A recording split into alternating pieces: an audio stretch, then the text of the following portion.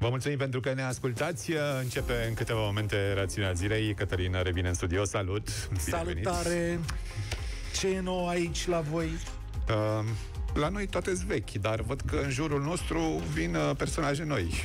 Sau, mă rog, la conducerea țării se prefigurează personaje noi și cred da. că despre asta ne vei vorbi și tu la Rațiunea Zilei. Vă povestesc uh, imediat, înainte să, să salutăm uh, faptul că afară este și un pic de soare aici. O, da, o, ce... da. Mâine se anunță 23 de grade. Serios? Da, serios.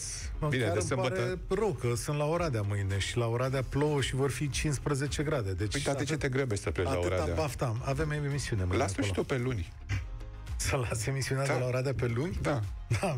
Păi, Cum nu așa ni se transmite de la cel da, mai înalt da, nivel. Da, corect, da. Așa. Uh, sau pe decembrie, că atunci vine bunăstarea. În decembrie vine? Da, da. Dacă mai vine bunăstarea dacă nu mai e domnul Câțu? Uh, nu vreau să vă stric uh, distracția. De, uh, cum, la modul cel mai serios, cumpărați-vă dacă aveți uh, de luat cadouri. O să mai vorbim aici cumpărați-vă cadourile din perioada asta, pentru că problema aceea cu lanțurile de aprovizionare va fi resimțită cel mai tare în decembrie. Aoleu. Și lucrurile alea obișnuite pe care le mai luați, electronice, haine sau alea care vin din import, s-ar putea să nu fie în mare măsură sau să fie foarte, foarte, foarte scumpe, nu exagerez cu nimic. Deci dacă în seara asta o să fie cozi în magazine, Cătălin Stribei de vină... Între timp e Black Friday, dar vorbesc la modul cel mai serios, nu o să fie doar la noi, se întâmplă în toată lumea. Nu sunt containere de transport și nu sunt șoferi. Da, păi vedem ce se întâmplă în Marea Britanie cu benzina și da. cu motorina. Uh, începe rațiunea zilei, așa cum am promis. Rațiunea zilei cu Cătălin Striblea la Europa FM.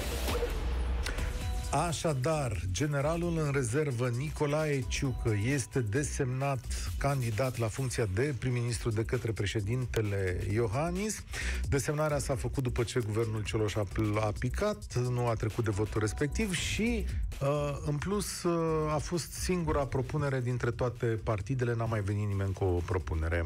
Bun, uh, era de așteptat, președintele s-a declarat foarte mulțumit că PNL și-a schimbat abordarea și l-a propus pe generalul Ciucă. Asta pentru că se relatează că în ultimele zile au avut loc niște fricțiuni, să le spunem așa, sau niște supărări de-a dreptul între președinte și premierul uh, Câțu, căruia i s-a spus să renunțe la mandat și n-a vrut inițial și după care a vrut. Și uh, s-a făcut această numire. De alminter, generalul Ciucă a mai fost numit premier interimar la un moment dat după guvernul Orban și a mai existat o încercare de numire a sa atunci când s-a ales între domnii Orban și Câțu. Nu a reușit atunci. Dar de ce se insistă atât de mult? Cu... Președintelui îi place de generalul ah, Ciucă. Okay. Uh, îl lăuda și l-a lăudat și l-a apreciat foarte tare încă de la venirea sa în funcție în anul 2014. L-a apreciat ca pe un profesionist desăvârșit, dar și uh, un om de o calitate foarte bună și mediile prezidențiale la data respectivă îl lăudau foarte tare pe generalul Ciucă. De alminteri, el a fost numit șef al statului major general de către președintele Iohannis, e un om în care are încredere. La un, la un moment dat, guvernarea PSD a încercat să-l înlăture pe generalul Ciucă din funcția respectivă, dar nu a reușit și a recâștigat postul în justiție. Acum. Dai voi să fiu așa puțin pesimist în toată treaba asta, pentru că domnul Iohannis l-a apreciat și pe domnul Orban și pe domnul Câțu da, foarte mult la un moment dat. Acum... Sigur, se poate, se poate înșela. Se Acum, poate. Da, generalul Ciucă este singurul general din istoria recentă, după al doilea război mondial, care realmente a luat parte la bătălii Asta și a auzit, condus da. armata română într-o bătălie din uh, Irak, la cucerirea unui pod peste Eufrat. Uh, e un om care pare, uh, cum să zic, calitatea militară cea mai înaltă în statul român. Și îl califică este... și pentru funcția de prim-ministru, treaba asta? Aici, el, în 2019, când a intrat în politică, a zis că intră doar ca să sprijine armata română pe drumul său de îmbunătățire și ce mai are de făcut. Sigur că nu e un politician de partid, nu stăpânește lucrurile de acolo, nu știm exact cum gândește și ce răspunsuri are la întrebările politice mari, la chestiunile economice și la alte lucruri de care răspunde un prim-ministru. În mod evident, nu cunoaștem aceste răspunsuri.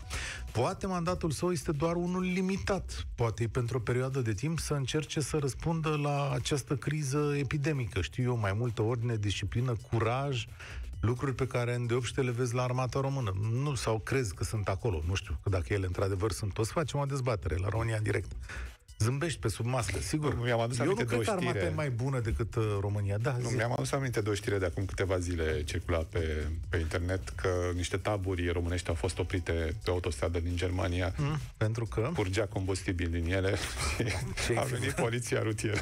Ce fi vrut să Deci, băi, spun? voi ne murdăriți autostrăzile. Era Da. un exercițiu comun Da. uh, cu armata. Populația acordă încredere mare armatei. Corect. În mod evident, nicio instituție din România nu are cum să fie mult deasupra țării, pentru că ea este făcută tot de români. Dar există laude și profesionalism la adresa armatei române, mai ales în relațiile internaționale, dintre cele mai mari. Adică militarii noștri și-au făcut cu asupra de măsură datoria acolo unde au fost, în diversele uh, teatre de război sau teatre operaționale din ultimii ani. Acum lasă-mă să termin și eu că nu era combustibil până la urmă, era apă de ploaie care se... Înțelegi? Hai și să apa aia zicem se murde, și- se, da. da. Și nu i-a mai lăsat să facă exerciții, au venit platforma Adică și... le-a, le-a murdărit autostrada Da. la nemți. E, asta s-a putut. Uite. Și nemții știi că cu Da, autostrăzile țin la nu glumesc. autostradă. Adică, Da. Uh, mai am un lucru de spus. Cel mai probabil, cel mai probabil îndrăznesc chiar să pun mâna în foc, guvernul Ciucă va fi un guvern fără USR. A avut loc astăzi o convorbire între domnii Cioloș și uh, Câțu, președintele PNL, și uh, din convorbirea asta a rezultat că guvernul va fi unul minoritar, adică cu miniștrii de la PNL. Hai să vedem dacă vor fi și cu cei de la UDMR. UDMR a zis că are un semn de îndoială acolo. Există și se conturează un sprijin de la USL punctual pe o anumită durată de, de la USL. de la USL, că căscasem Ne-a ochii. scăpat de la PSD. Multă Așa. lume scrie acum că s-a refăcut USL-ul. De la PSD am vrut să spun. Aia e. Uh, așa o să le rămână. Uh, deci există un sprijin punctual de la PSD, asta se pare că va fi formula, să vedem formula guvernamentală, cine sunt oamenii și cum o să reziste un guvern minoritar în uh, toată această chestiune. Vom trăi și vom vedea, uh, vorba ta. Mulțumesc, uh, Cătălin. Mâine, așadar, uh, ne saluți din, uh, din Oradea.